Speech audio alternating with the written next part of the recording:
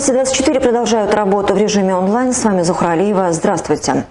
С момента начала распространения пандемии в Дагестане погибло более 40 сотрудников э, больниц.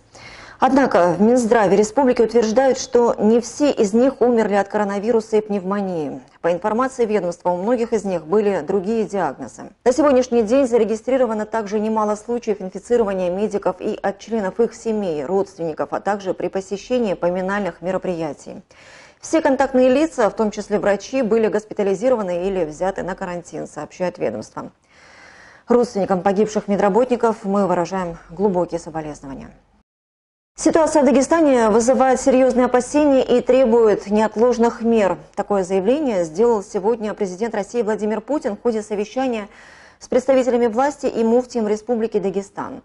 О самых главных моментах расскажет моя коллега Хадижа Курбанова. Ей слово сдержать распространение коронавируса в Дагестане всеми силами и помочь республике всей страной. Вот основные тезисы выступления главы государства, у которого происходящее в регионе вызывает серьезные опасения. Поэтому вопросам всесторонней поддержки Дагестана и неотложным мерам в этой связи было посвящено отдельное совещание. Первое подобное в таком формате и в практике президента страны за время борьбы с эпидемией. Путин отметил, что в ближайшее время региону будет оказана всесторонняя поддержка. А перед этим исчерпывающе и правдиво о ситуации в Дагестане рассказал муфти республики Ахмад Хаджи Абдулаев. По статистике уже говорят, более 700 человек умерло, погибло около 50 медработников. Эти цифры, к сожалению, растут с каждым днем. Люди остались без работы. Но проблема в том, что это только зафиксированные случаи смертей в больницах. Никто же не ведет статистику людей, которые умирают от болезни в своих домах. Они умирают, их хоронят по обычаям, и их никто не считает. Можно сказать, что люди сами виноваты в таком огромном количестве зараженных. Да, не все серьезно отнеслись сразу. Где-то не поверили до конца. Кто-то думал, что пронесет. Но я думаю, вы согласны с тем, что халатность людей не повод бросать их такой катастрофе. Недостает лекарств и коек, поэтому спасение сейчас соблюдение режима самоизоляции, так говорят эксперты. Так и глава республики в очередной раз призвал к тому, чтобы люди сидели дома. Особенно его просьба касалась родственников больных, которые сегодня, пытаясь передать посылки близким или как-либо поддержать их, поступают только во вред себе. Уважаемые дагестанцы, нам нужно обеспечить не только в больницах, но и на территориях режим изоляции. У нас особое отношение к ближним. Вот эти передачи, попытки пройти из одной зоны в другую, сопровождение родственникам на машине, машина скорой помощи с перевозимым заболевшим. Вот сейчас просит о чем руководитель, и он и не один, чтобы мы дали силу правопорядка, чтобы обеспечить эти требования. Мы их будем неукоснительно выполнять. Хочу одновременно извиниться перед вами, уважаемые дагестанцы, за эти ограничения. Но иначе нам болезнь не одолеть. И это показывает практика. Владимир Васильев сказал также о необходимости строительства в республике крупного инфекционного центра. Эти слова нашли поддержку у других участников совещания. Так, министр здравоохранения России Михаил Мурашко отметил, что сейчас Дагестан следует отправить дополнительные медицинские силы и средства.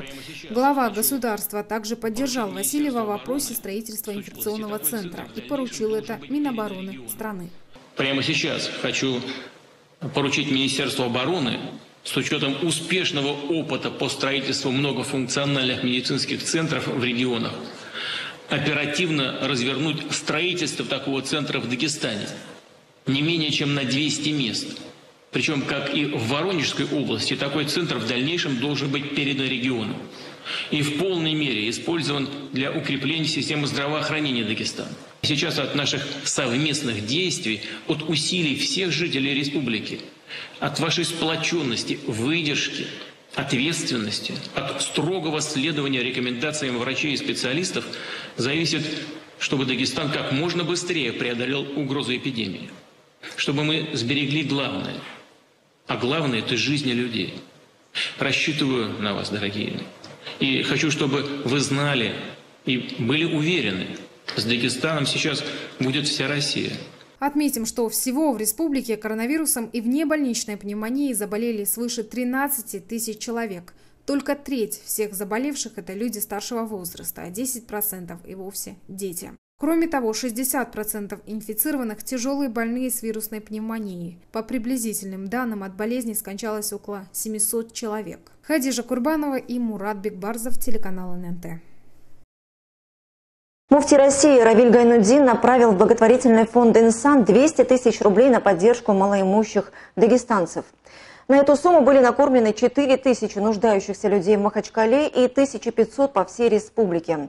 Фонд «Инсан» поблагодарил российского религиозного деятеля за такой жест доброй воли. Этот поступок послужит ярким примером благотворительности для многих мусульман, говорится в сообщении фонда.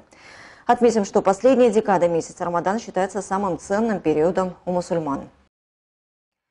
Муфтият продолжает оказывать помощь медучреждениям республики. На этот раз религиозные деятели посетили центральную больницу Клератинского района.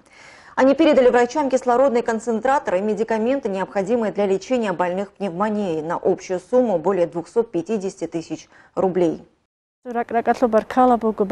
Искренне благодарим вас от всего коллектива больницы и жителей нашего района за предоставленные вами лекарства. И за кислородный концентратор также выражаем большую благодарность. Вы протянули руку помощи нашим больным в самое необходимое время. А малоимущим жителям Бабаюртовского района раздали продукты питания первой необходимости. Благотворительный фонд «Инсан» распределил 20 тонн продовольствия на сумму 650 тысяч рублей. Мероприятие состоялось в рамках акции «Продукты в каждый дом». Помимо этого, представители муфтията обошли сельские магазины, и в них они погасили долги нуждающихся людей.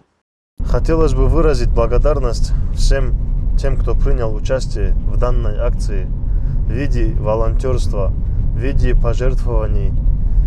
Это очень важно в это трудное для нас всех время. В Хасавюрте ужесточат ограничительные меры в дни праздника Ураза-Байрам.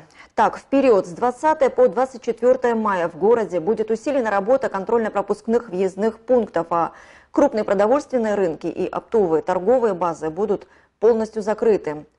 Отмечается, что принимаемые меры направлены на недопущение массового пребывания людей на городских рынках в предпраздничный период, что может привести к нарушению режима самоизоляции и росту заболеваемости. При этом продовольственные магазины и супермаркеты будут функционировать в штатном режиме. В Буйнакском районе активно занимаются производством мяса птицы. Одним из таких производителей является сельскохозяйственный потребительский кооператив «Дерия». Запущено новое производство по глубокой переработке птичьего мяса, продолжит Алина Багилова. Минсельхозпрод республики предпринимает активные меры по развитию и расширению продовольственного рынка. Так уже были заключены договора с двумя странами по экспорту мяса учитывая то, что местное население традиционно выращивает птицу, и это нам дает э, еще дополнительно в рамках национального проекта создания системы поддержки фермеров и развития сельской кооперации вовлечь побольше личных подсобных хозяйств, а также другие крестьянско-фермерские хозяйства. Сельскохозяйственный кооператив «Дерия» получил существенную грантовую поддержку. Общая стоимость проекта составляет 52,5 миллионов рублей. После запуска нового завода в эксплуатацию в регионе было создано около 50 новых рабочих мест. А производственная мощность предприятия позволит за одну рабочую смену получить 5-6 тонн мяса птицы. Мы наряду с экспортом э, риса и мяса бараньи мы увидим экспорт мяса птицы из Республики Дагестан. На сегодняшний день данное предприятие заключило договор с Казахстаном, Республикой Азербайджан. И при этом мы увеличим наш, так сказать, экспортный потенциал. Таковы новости к этому часу. Всего доброго и до встречи.